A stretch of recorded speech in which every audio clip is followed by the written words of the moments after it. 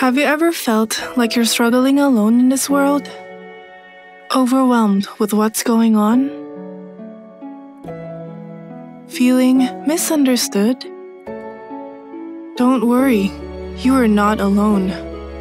The importance of mental health deserves more attention from the world.